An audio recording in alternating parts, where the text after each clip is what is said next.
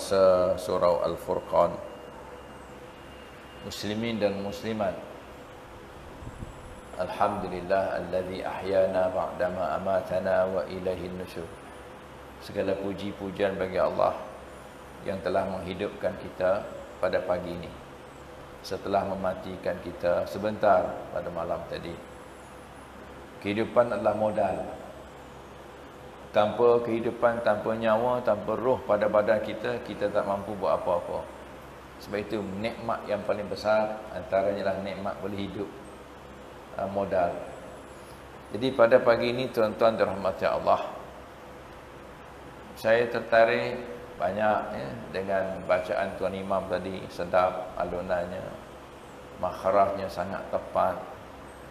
Ada iramanya, kisahnya, jadi setiap Quran sama ada surah Fatihah ataupun surah-surah lain sunat dimulai dengan a'udzubillahi minasyaitonirrajim. Baca Quran pun Tuhan kata apa? Fa iza qara'tal Quran fasta'iz billah minasyaitonirrajim. Dan bila mana kamu membaca Quran maka hendaklah kamu berlindung dengan Allah daripada syaitan yang direjam baca Quran tu pun Tuhan kata mulakan dahulu dengan auzubillahi minasyaitonirrajim. Begitu juga dengan kehidupan kita. Hari ini kita dah start pagi ini start kehidupan yang baru. Sebab hari ini hari Sabtu, maka hari ini hari Sabtu yang baru. Sabtu yang lepas ialah dah berlalu dah. Sabtu akan datang, Sabtu yang lain. Maka mulakan hari ini dengan a'udzubillahi minasyaitonirrajim. Kalau baca Quran yang mulia itu pun Tuhan kata sebut a'udzubillahi minasyaitonirrajim. Sebab baca Quran pun syaitan kacau. Kita baca Quran pun syaitan ganggu. Ini kan pula kehidupan kita yang lama beberapa jam, 24 jam. Baca Quran tak sampai satu jam pun. Mungkin beberapa minit, setengah jam, itu pun Tuhan kata mulakan dengan auzubillahi minasyaitonirrajim. Ini nak start pagi ni nak sampai ke malam tidur nanti saya tak tahulah macam mana setan punya perancangan dia boleh sesatkan kita kalau kita tak mulakan apa saja dengan auzubillahi minasyaitonirrajim.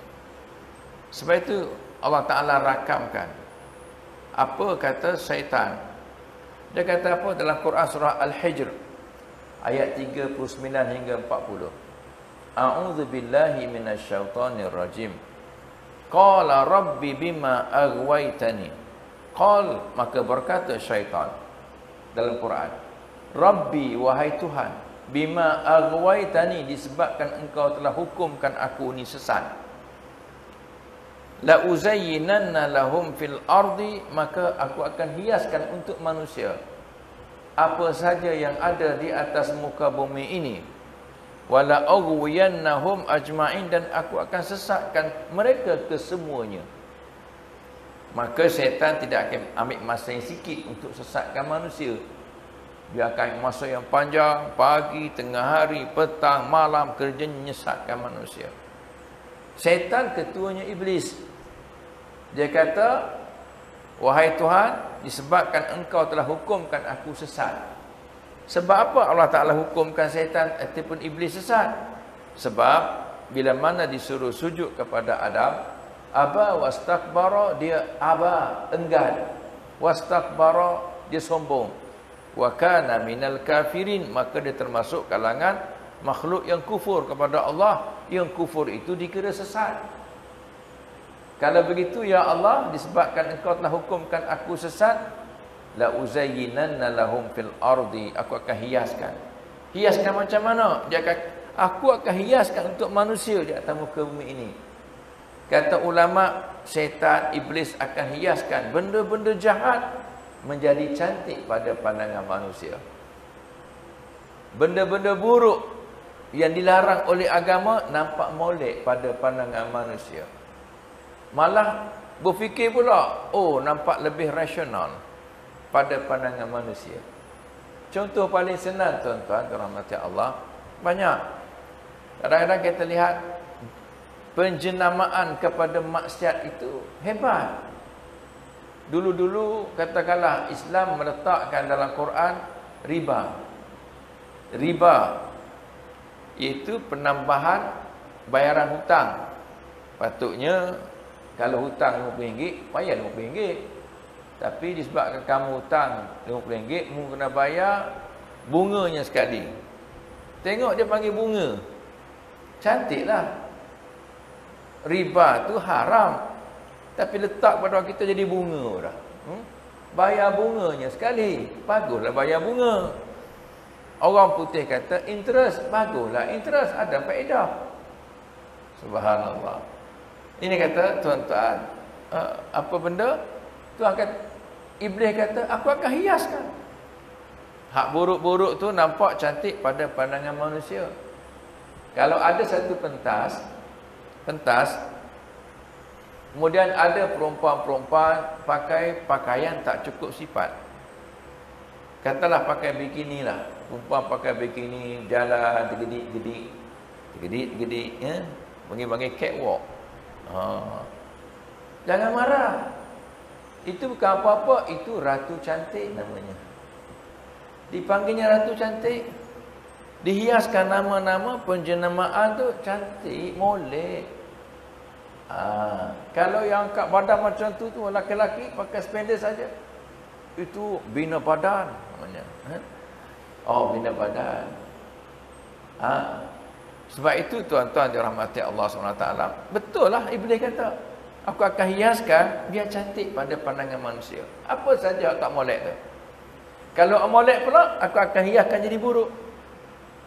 Ha, kalau ada lah muslimat dia pakai tudung, tutup-tutup pakai purdah, dipanggil hantu kumkum namanya. Hmm? Itu permainan dia. Dan wala uwiyannahum ajma'in dan aku akan sesatkan manusia ajma'in kesemuanya. Tanpa tinggal seorang pun. Itu janji setia aku janji ikrar daripada iblis ketua setan. Illa ibadaka minhumul mukhlasin. Malaikat hamba-hambamu yang ikhlas saja ya Allah. Aku tak mampu nak goda mereka. Aku tak mampu nak sesatkan mereka hak ikhlas. Ha, dia dengan Allah je. Aku buat kerana Allah. Itu ikhlas dia panggil. Buat kerana Allah yang ni aku tak mampu nak sesatlah sebab dia buat kerana mu ya Allah. Okey, tuan-tuan dan mati Allah, saya tak nak cakap panjang ya, sebab kuliah subuh ni pendek je. Macam mana syaitan dia menyesatkan kita? Kita nak tahu. Macam macam apa tentera-tentera kita bila mana kalau tentera-tentera musuh nak datang ke negara kita nak berperang, tentera kita kena kaji dulu. Logistik kena kaji, taktik, strategi, perancangan musuh. Macam mana musuh? Nabi macam tu Nabi buat. Bila mana Nabi nak perang pada Nabi masuk kampung, tempat disinggah oleh tentera-tentera musyrikin. Nabi tanya orang kampung, berapa ramai yang datang? Tentera-tentera dari Mekah tu. Orang kampung tak nak jawab, tak nak bilang. Ha, tak apalah Nabi kata, Nabi tanya persoalan kedua. Sekali mereka makan berapa ekor unta? Lagi senang. Mereka makan ramai-ramai itu berapa ekor unta mereka tumbangkan. Barulah orang kampung dijawab kat situ. Oh, antara 9 hingga 10 ekor unta. Oh, Nabi beragak lah. Contohnya lah. So, kena tahu sebelum perang. Jadi kita sebelum perang dengan syaitan kena tahu apa cara kaedah yang digunakan oleh syaitan untuk menyesatkan kita. Kita hidup ni tuan-tuan share alam dengan dia. Dan kita kena ingat, Tuhan kata apa? Innahu yarakum huwa wa qabiluhu min haitsu la tarawnahum. Sesungguhnya iblis, setan-setan itu boleh nampak kamu. Sedangkan kamu tidak boleh nampak mereka. Lagi susah nak perang dengan musuh yang kita tak nampak. Invisible. Macam mana nak perang dengan musuh yang tak nampak? Perang dengan musuh yang nampak pun mungkin kita tewas. Ini bukan pula berperang dengan musuh yang kita tak nampak. Tapi ada begitu ramai di sekeliling kita. Cuma kita tak nampak je. Depan kita ada, belakang kita ada, kanan ada, kiri ada, atas ada, bawah pun ada. Kat luar ada, kat dalam ada. Kat mata ada, kat telinga ada, semua ada. Kat surau ada, kat rumah ada, kat pejabat ada, dalam kereta ada.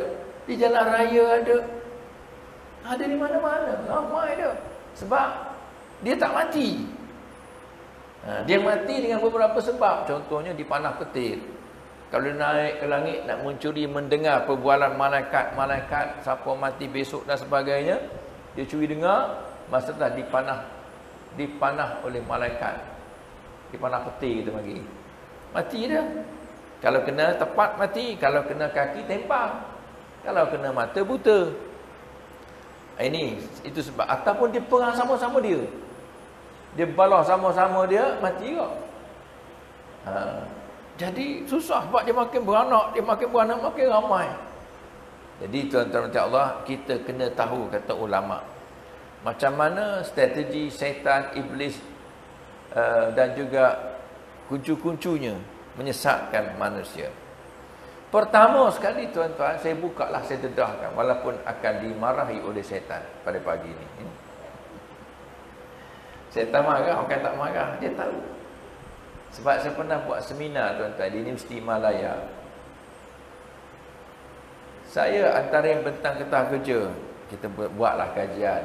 Hmm? Saya kata kepada audien, hari ini saya nak dedahkan hmm? tentang siapa itu syaitan, iblis dan jin-jin yang jahat ini dan macam mana strategi mereka menyesatkan kita dan macam mana kita nak kumbangkan mereka. Marah dia. Mana macam mana saya tahu dia marah? Syaitan tu dah ada dalam badan orang kat depan. Tiba-tiba dia bersuara. Celaka kau ada. Saya dah celaka dah. Celaka kau buka rahsia kita orang. Oh, so pagi ni nak buka rahsia lah. Ha, kukuk siapa ada jin dalam badan dia boleh bersuara sekarang lah. Siapa dah simpan seekor kedua ekor. Jangan simpan lah tak guna menyimpan jin tu susah nak mati nanti tuan-tuan. Susah nak mati. Pertamanya ialah tuan-tuan iblis syaitan apa beza iblis syaitan dengan jin ustaz? Nah, senang saja. Jin ini ialah makhluk yang mukallaf yang kita tak nampak jin. Dicipta daripada api ataupun dia panggil apa? Panggil gejala api lah. Jin ini bila dia kufur kepada Allah dipanggil syaitan So jin kafir dipanggil syaitan. Kalau jin Islam dipanggil jin Islam. Tak masalah. Jin pun macam kita juga. Ada manusia Muslim, ada manusia kafir. Jin pun sama juga. Jin kafir ni pula big bossnya ialah iblis. Ha, so syaitan ketuanya ialah iblis. Okey faham? Ha? Pertamanya tuan-tuan dan mati Allah, syaitan dan iblis ini akan membisikkan kita, mengajak kita, menghasut kita supaya kufur dan syirik kepada Allah. Itu nombor satu. Dia kata matlamat kita pertamanya ialah kita nak jadikan manusia ni sama-sama ramai dengan kita dalam neraka. Dan kekal bersama kita dalam neraka dengan cara jadikan mereka syirik dan kufur kepada Allah Subhanahu wa taala. Ha. Kata ada orang kafir. Orang Islam murtad pun ada. Bukan tak ada. Tak Islam dah. Murtad pilih agama lain. Sedangkan agama yang diradai oleh Allah ialah Islam sahaja. Buktinya waraditu lakumul Islam Madinah. Kata Allah dan aku redha Islam saja sebagai agama kamu. Inna dina indallahil Islam.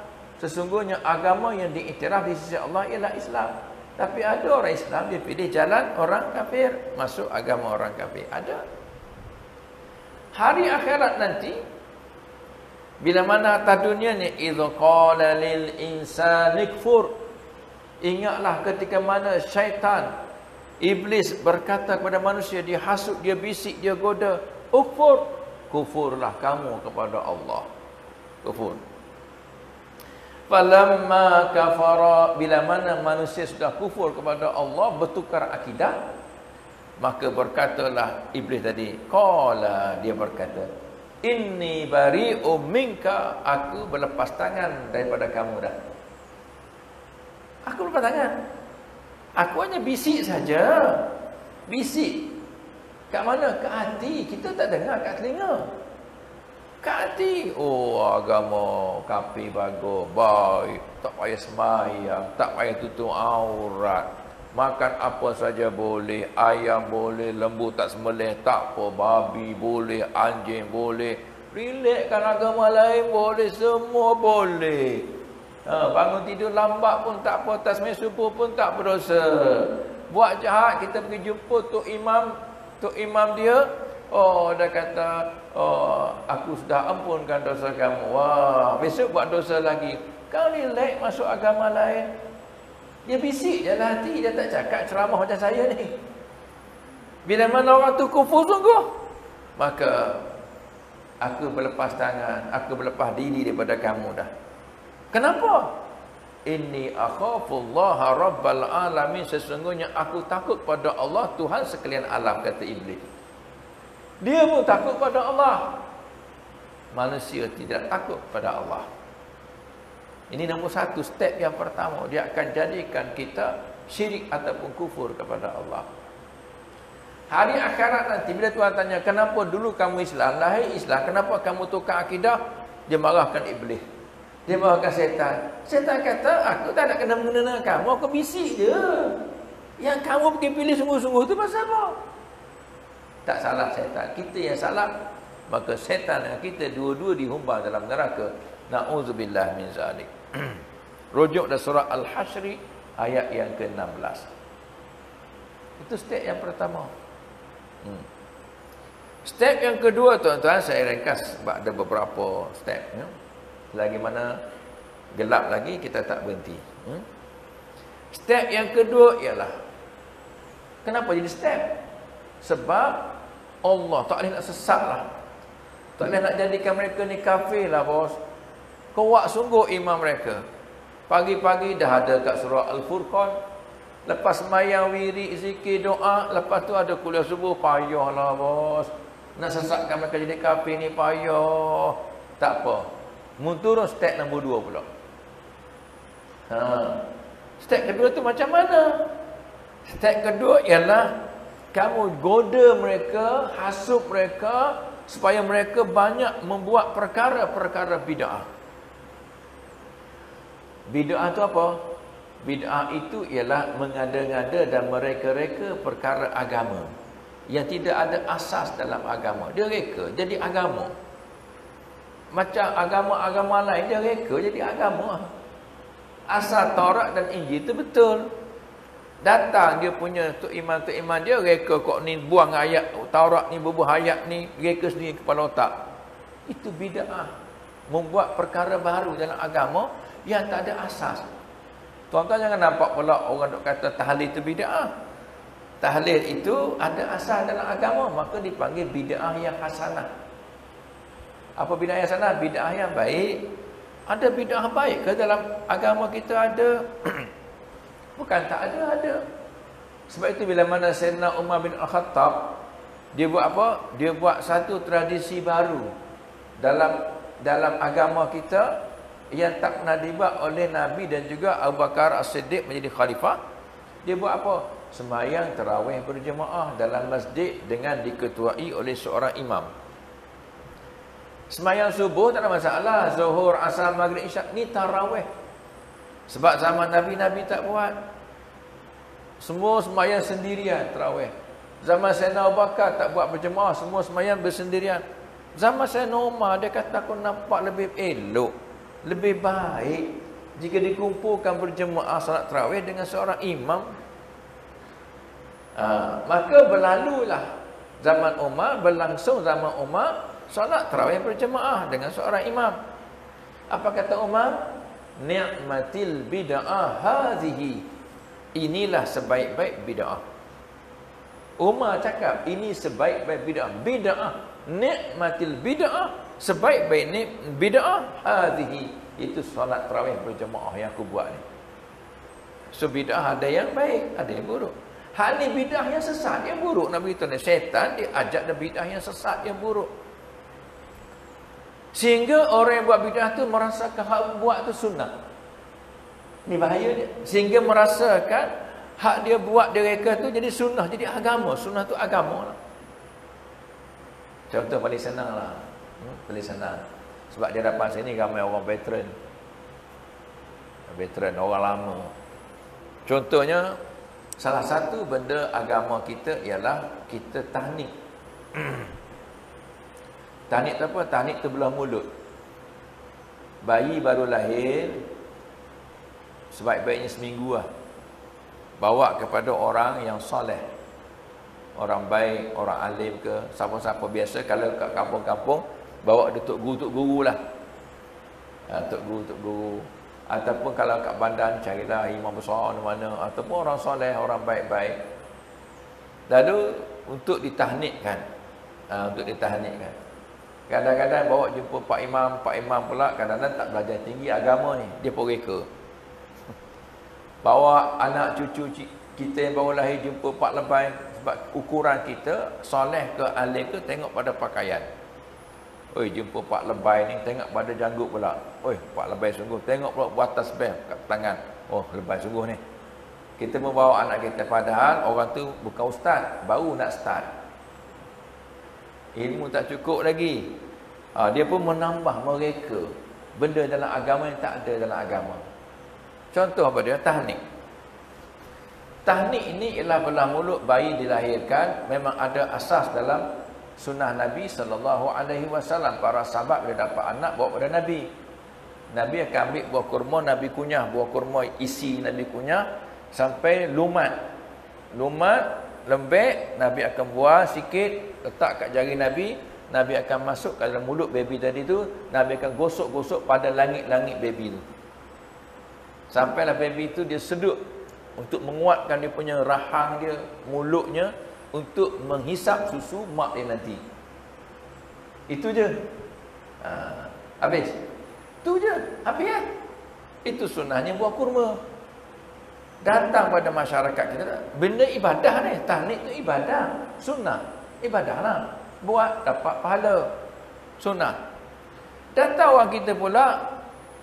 Macam-macam ada kurma ada gula ada garam ada asam jawa ada ajinomoto pun ada siap dengan tepung tawa ada siap dengan air kelapa paras buah kelapa lagi siap dengan cincin suasa ada cincin emas ada cincin perak pun ada ah, sudah masa tu nak buat ni banyaknya macam-macam macam-macam menu ada Saya pernah tengok tu, saya cakap. Uh, imam tu dah meninggal, tak tinggi tinggi pun. Tapi dia jolok bayi budak tu mula-mula kurma. Lepas tu gula. Lepas tu asam jawa. Lepas tu garam. Dia jolok. Juling mata budak tu. Mujud. Nak muntah. Semua ada. Dia ingat ni kari ke apa. Semua masuk. Ini bid'ah ni. Dia reka-reka sendiri. Nabi kata buah kurma yang manis-manis tu. Tak ada buah kurma carilah madu lebah manis. Yang gejolok garam. Pasal apa buah haji nombor tu pula? Muju tak apa? Cili. Ini kata reka benda bid'ah. Saya tak nak cerita hak agama hak besar-besar. Tuan-tuan nak cerita hak nampak benda depan mata kita. Lepas tu tepung tawar pula. Dalam imam buat jadi ibadah dalam surau pula tu. Tepung tawar tu apa?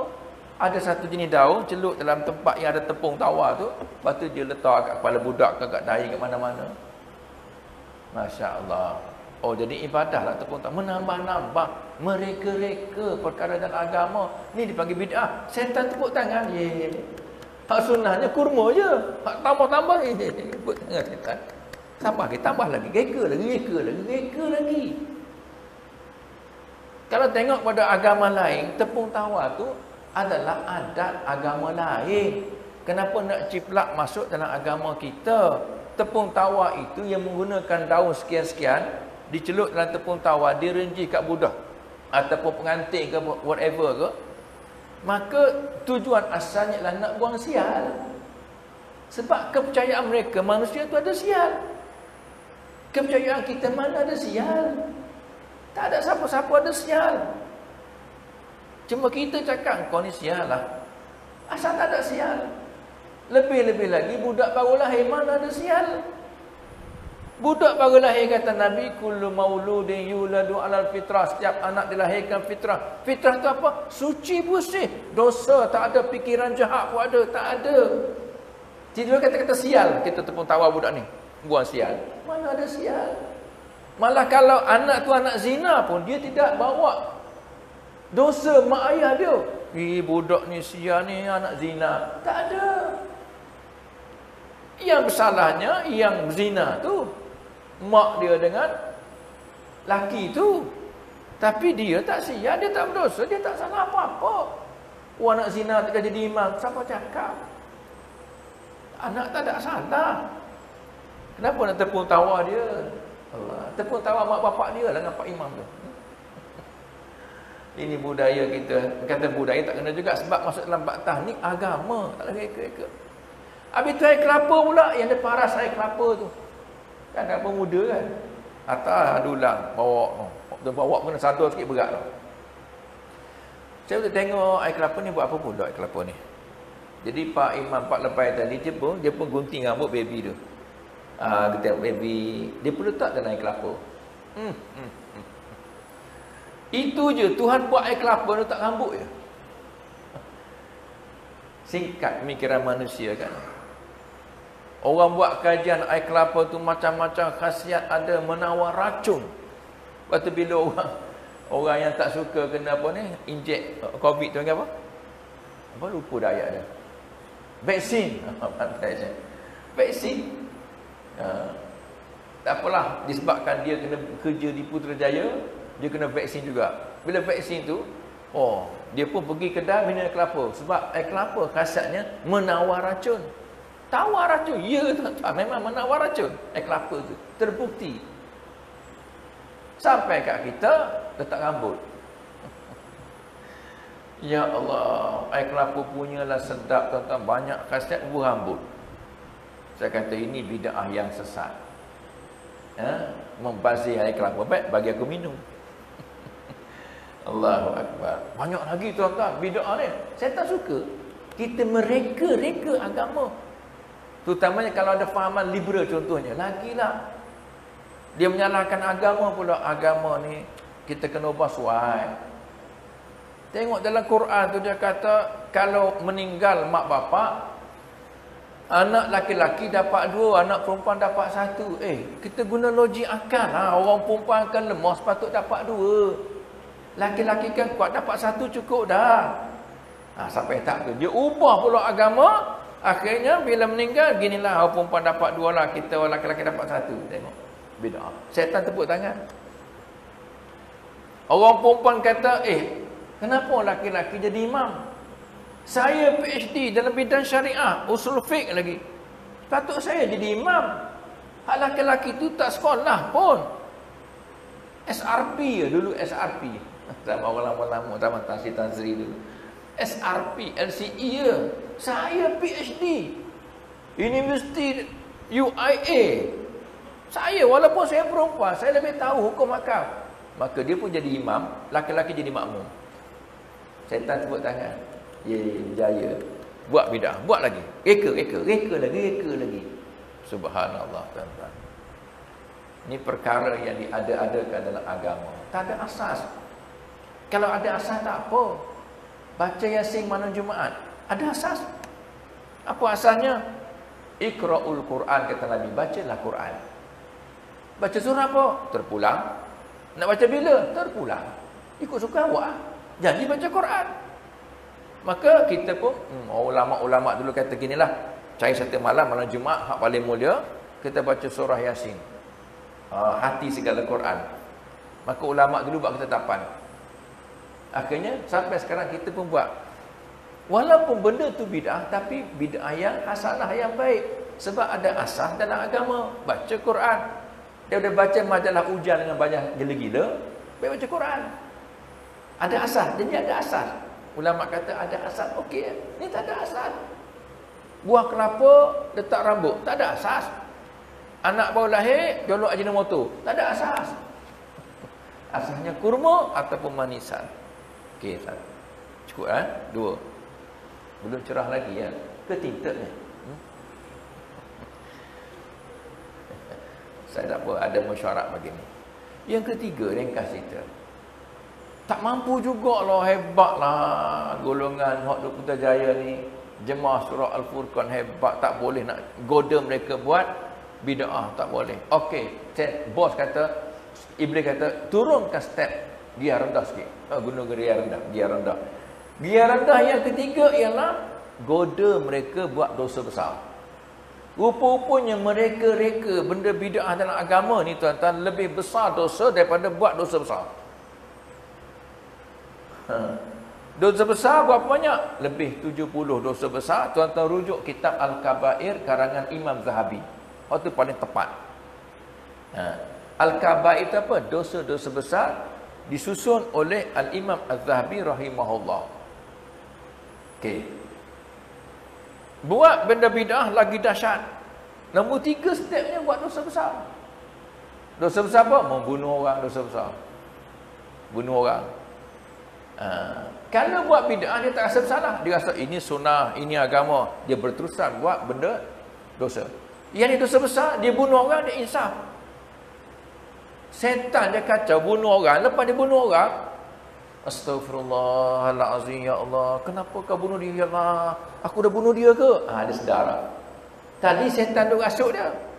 Bunuh, bunuh, bunuh, bunuh. Bunuh sungguh. Lepas dia bunuh, dia sedar. Dia menangis. Saya bersalah yang arif. Saya mengaku saya bunuh dia, saya menyesal. Tolong kurangkan hukuman saya, dia merayu. Tapi kalau buat kerja bid'ah, dia tak kata salah. Ini agama, ini sunnah, kita kena buat. Jangan lupa buat. Tengok, dia marah pula kalau tak ada benda tadi. Sebab itu tuan-tuan, letak nombor tiga dosa besar. Sebab manusia akan insaf. Bila dia buat benda dosa besar, dia akan insaf. Apa dosa besar? Tengah membunuh, mencuri, merompak, berzina, Biasanya mereka ni tuan-tuan dia akan rasa insaf. Kena tangkap insaf. Mana ada orang tangkap guna bid'ah? Ada ke? Tak ada tangkap guna bid'ah. Tapi kalau dosa besar orang tangkap masuk penjara insaf. Insaf. Saya banyak kali masuk penjara tuan-tuan. Cuma tak tidur je lah. Masuk pagi keluar tengah hari. Transit sekejap. Pergi ceramah kat banduan ataupun penghuni penjara ceramah penjara laki-laki saya masuk penjara perempuan pun saya masuk penjara budak-budak sen hari geni pun saya masuk laki-laki dengan cara laki-laki perempuan dengan cara perempuan. Saya terkejut masuk penjara perempuan. Semua pakai tudung belaka. Baik. Saya kata macam aku masuk macam macam kuliah duha kat surau je. Pada penjara. Siap ada baby juga belakang. Hak menyusu baby ada hak bawa anak kecil ada. Penjara perempuan Kajang penjara Sungai Buloh saya pergi penjara apa ni um, Batu Gajah Perak saya pergi Kedah Penang hari Geni Melaka pusat koreksional di Labuan masuk habis baik Melaka baik macam ni saya ceramah duduk depan saya dengan semua kopiah Melaka habis ceramah sejam ustaz tambah lagi ustaz sambung lagi ustaz insaf tapi adakah orang bid'ah masuk penjara? Tak ada. Bid'ah tu duduk kat luar. Sebab dia anggap benda agama. Tak rasa bersalah. Tuan-tuan. Sebab itu, buat. Buat. Oh. Desak, hasut, goda, bisik manusia. Buat dosa-dosa besar. Tiga dah. Ha. Ya? Tak percaya jugalah bos. Kita rasa buat dosa besar pun tak percaya. Kuat iman orang jemaah surah Al-Furqan ni. Tak apa mau turun step yang ke kelima. Lima ke? Syirik kafir satu. Nombor dua bid'ah. Nombor tiga dosa yang keempat. Dia empat pula. Oh. Dia kalah keturun benarnya. Kalah kenaik. Hasut mereka supaya melakukan dosa-dosa kecil. Dosa besar tak pernah buat. Buat dosa-dosa kecil. Dosa kecil tuan-tuan, saya pun tak tahu apa dosa kecil. Cuma ulama-ulama buatlah list dosa-dosa kecil ni. Dosa besar ada kitab. Dosa kecil tak ada kitab. Ha. Dosa kecil ni antaranya ialah kita melewat-lewatkan bayar hutang. Dosa. Lewat kita mampu bayar. Ada duit. Ha, InsyaAllah tahun ni saya bayar. Tahun ni saya bayar kan. Kita ada duit dah. Boleh bayar bulan September. Sengaja kita tangguh-tangguh duit ada. Ha, biarlah, tak apa. Tak habis kita tahun ni. Walaupun kita janji tahun ni, bulan 12 boleh bayar. Bila ada duit, wajib bayar. Wajib segera bayar hutang. Sebab orang mati syahid, walaupun dia mati syahid, diampun dosanya, kecuali hutang sangkut. Lepas tu, melewat-lewatkan bayar hutang, hukumnya berdosa. Lagi, kita kodak hajat di bawah pokok yang sedang berbuah. Tuan-tuan tanam pokok mangga kan. Ha, apa nak buat? Kita tak sebab balik rumah. Allah. Berak sini ya. dosa kecil. Berak tapi jalan dosa kecil. Kalau berak tapi jalan dosa kecil. Tai, tai orang lah. Tai. Orang berjalan tepi jok. Allah celaka. Siapa berak ni? Dosa kecil. Berdosa dosa. Dosa kecil kalau berak hari-hari tepi jalan jadi dosa besar. Benda kecil jadi besar. Kalau kita sentiasa buat jadi besar. Dosa kecil tu jangan main-main. Dengan dosa kecil sama-lama ke? Tak. Dosa kecil lama-lama jadi besar. Api kalau kumpul sama-sama api boleh bakar sebuah rumah jadi besar. Ha, berak tepi jalan. Tak boleh. Berak dalam sungai. Sungai tempat orang ambil minum air. Orang tempat basuh apa ni pakaian. Tempat orang berwuduk. Jadi kita berak. Berak tempat laluan awam, orang awam tak boleh. Buang sampah macam tu juga. Saja sampai traffic light atau traffic light merah, kita pun masuklah kita mengemaskan kereta kita. Cari tisu, campak kot tingkap. Cari apa? Oh, jumpa pamper isteri, campak kot tingkap juga. Pamper anak, campak kot tingkap. Dosa. Ya, dosa. Allahu Akbar. Kita kodok ajak berak menghadap kiblat. Kalau dalam bilik tak apa, lah. makruh. Tapi kalau di luar dosa. Menghadap kiblat. Mana kiblat kiblat? Oh, kita menghadap kiblat berak. Buang air menghadap kiblat. Dosa. Dalam semayang. Bismillahirrahmanirrahim. Sunat kita pandang tempat sujud. Tiba-tiba Bismillahirrahmanirrahim tengok cicak, tengok kipas. Alhamdulillahirrabbilalamin. Oh, aircon tak buka bagi ni. Ar-Rahmanirrahim kipas pun tak buka. Maliki yaumiddin. Oh, ada kipas rosak.